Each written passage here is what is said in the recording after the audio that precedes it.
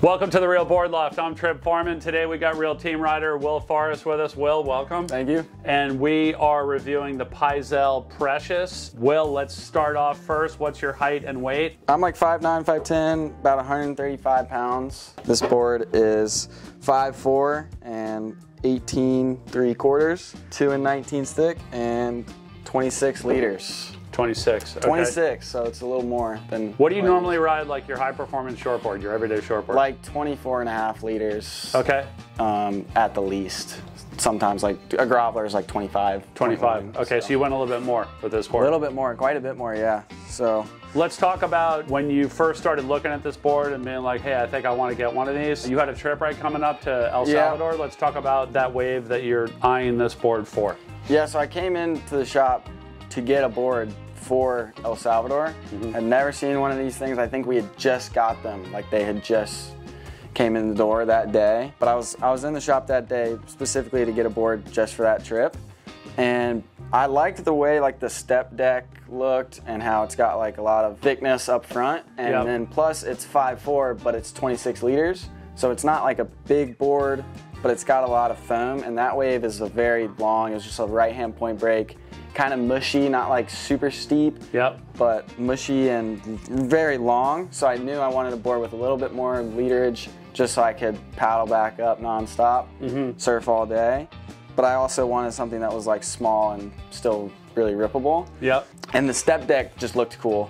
So Okay. I've never had something like this before. I thought that maybe with the, all that foam kind of lifted off the deck, it would give it extra paddle power and a little bit more of like float through the small waves. But since the rail is still thin, Yeah. it would still be like very turnable. Really unique looking. I mean, it's got like It's concave, like it's got like a concave deck, so your whole chest like lays down in it. Yeah. And then it's got like this Step like, down. almost like a chine right here, a flare up, and then way back down on the rails. Mm-hmm. How did that feel like laying down in the deck? Was it like super It's- positive? It's yeah, it's like nice. almost like sucking you into yeah, the board? yeah, it was cool. You can't wax this.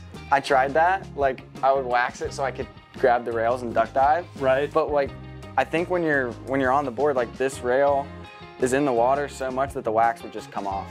Okay. Like it would just the the water would just take the wax off. So like I waxed this like before I paddled out every time so I could duck dive and the wax just would just come right off. come right off. The thing I noticed the most is just like when you stand up, especially at that wave that we were at in El Salvador, like the board just instantly wants to go. Mm-hmm. Like if the wave has like power, like instantly when you stand up, you don't have to work for it.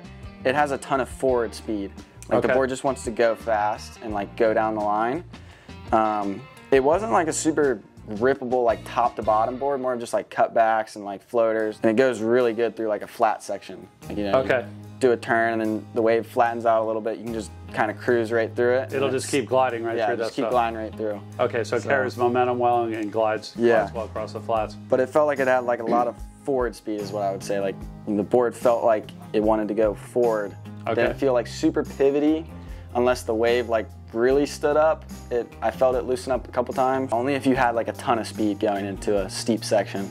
Because that was like the thing I noticed when I brought it back here and tried to surf it here. A lot of our waves, they're steep, but you stand up, you kind of have to work for the speed a little bit. Mm-hmm. This thing, it didn't really want to do that. It doesn't want to work for the for the speed. It wants a wave that has a lot of speed already. Okay. So you stand up and you try and get it going, and it just kind of felt sluggish. So it definitely was better at like a point break style wave. So And what was the wave height range? Like when you were in El Salvador, what was the like the smallest to the biggest? the smallest running? was like waist high, maybe a little smaller, and then the biggest was like maybe head high. It Okay. didn't really get that big when we were there. It got small.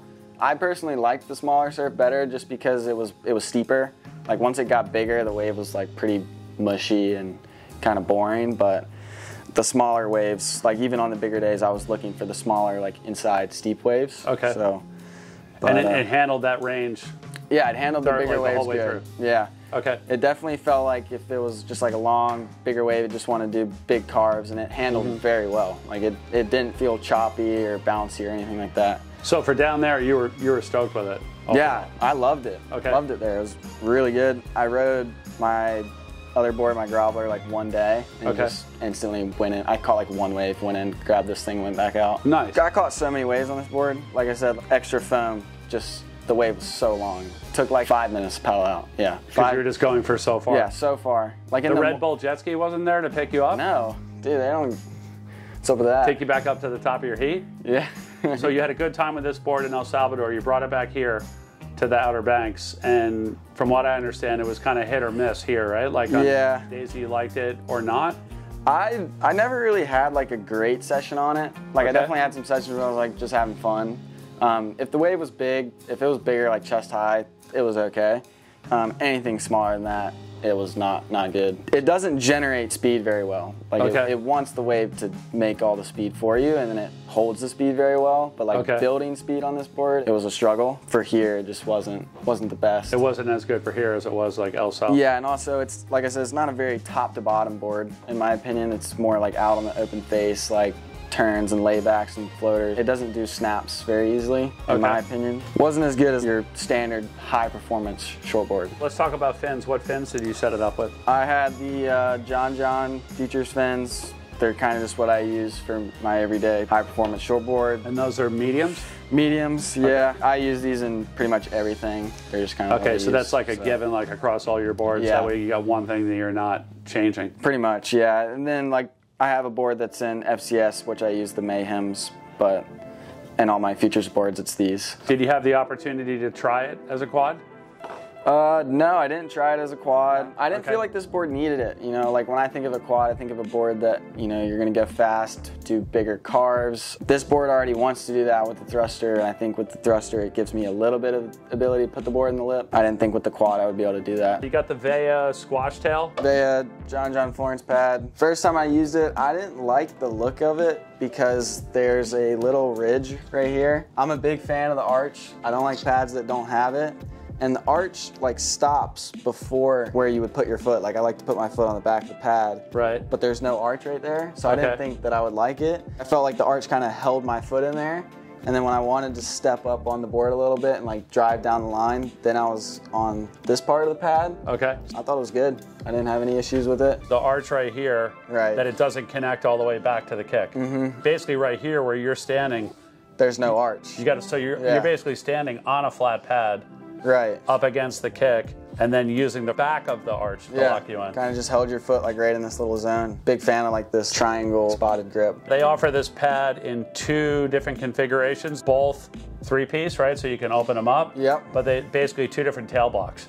So they have Yep. a round pin tail pad, which is like good for like the Pyzel Ghost or any any board that has a narrower tail. Uh, then they have the squash tail version. That's what Yeah. this is. They stick really well. Like I've had a lot of pads come off, and I was really worried about like the way the the step in the board right here like comes back to where the pad is. That this part would start to peel up, and then Okay. I'd have to like cut it right here with the razor blade, but I didn't need to. That's a hard angle for a pad Yeah, to stick on. yeah, you know? it's And- rough, so- So the glue the glue on that's good. So that's Yeah. cool. That's good feedback on the on the JJF VEIA pad.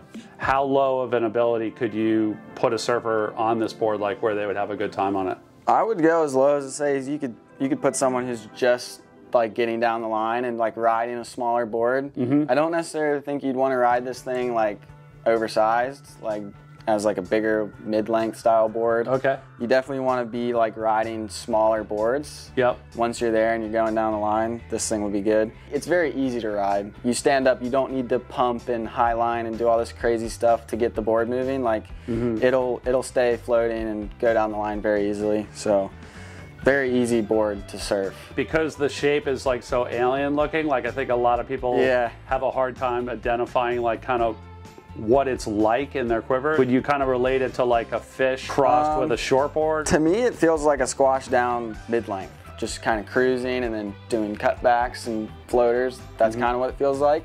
But shorter and, and more shorter maneuverable and, and more maneuverable. If the wave had speed and you stepped on the tail, you could definitely get it in the lip. I definitely wouldn't use it in super small surf if it was like beach break, but if it's like a point break with like speed down the line, Yep. I think it would go really well. It's interesting because like you look at this board and you really don't know what to expect Right, until, right, you, right. until you hop on it. Yeah, it was fun, real fun. So. That's awesome. Well, well, hey, thank you so much Yeah. uh, for joining us and sharing all that insight about the Pyzel Precious. If any of you out there have any questions about the Pyzel Precious or would like to order one, you can always reach us at the shop, 252 987 6000, or look us up online, realwatersports.com forward slash surfing. Thanks for tuning in.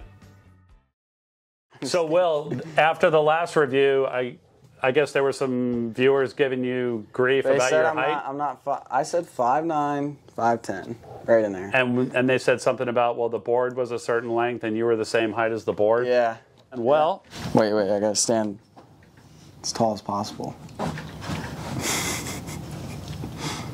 I'm gonna put you at five nine to maybe five. I'd say five nine and a half. Boom. I'm Yeah, perfect. I, I don't think you're five ten though. I said five So there nine, it is. maybe five ten. Live on YouTube, we're measuring things.